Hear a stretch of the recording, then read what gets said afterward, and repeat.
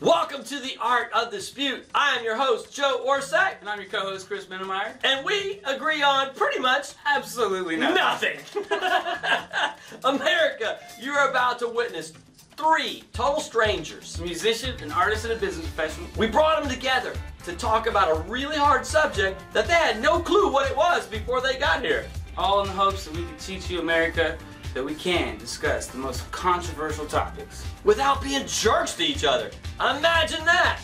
So stick around, watch the fireworks, because we're about to go.